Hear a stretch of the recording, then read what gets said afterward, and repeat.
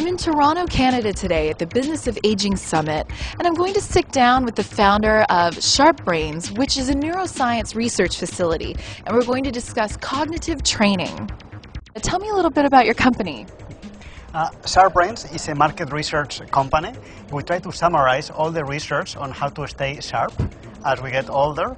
And uh, so we cover all the new innovations from the research side and also from the product side. So, what have you um, seen the most promise in as far as technology um, with the cognitive training? There is now a lot of programs for uh, to help teenagers and also older adults drive safer. To drive a car, I mean, it's very complex. You have to be paying attention to many different things. You have to make a lot of decisions. So it's very heavy on a part of the brain called the frontal lobe. But there is a very interesting similar study going on in London comparing the London cab drivers and London bus drivers and how parts of the brain evolve as they get older.